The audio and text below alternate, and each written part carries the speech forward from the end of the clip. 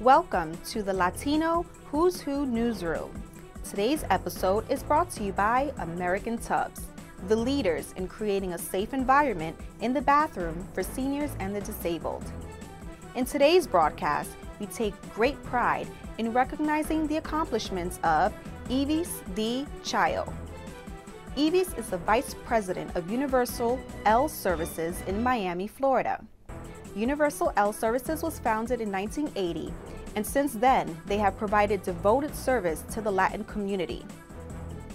They are a family style business providing multiple services, including income tax preparation, immigration, notary services, accounting, and more.